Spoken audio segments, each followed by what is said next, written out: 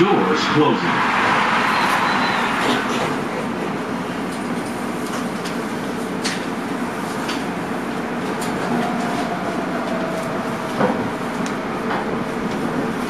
Belmont is next.